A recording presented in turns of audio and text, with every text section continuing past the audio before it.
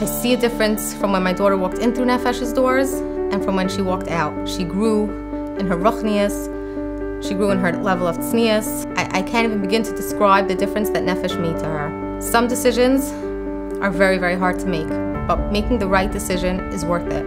It was the right decision to send her to Nefesh. You won't regret it.